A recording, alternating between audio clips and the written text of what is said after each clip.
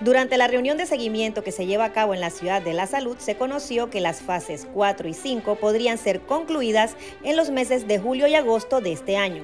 Todo lo que tiene que ver con el hospital pediátrico de alta complejidad eh, va a ser posible que eh, ese sector de la población de pediatría tenga los servicios que le corresponden pues, a la brevedad posible. Por su parte, el doctor Jorge NG, director médico de esta instalación de salud, mencionó que en el área médica se reactivan las cirugías en el bloque quirúrgico. Estamos iniciando en el pabellón número 3 del bloque quirúrgico, los quirófanos del 20 al 24, en donde se están realizando cirugías de robot, eh, de urología, cáncer urológico, eh, ginecología y cirugía general.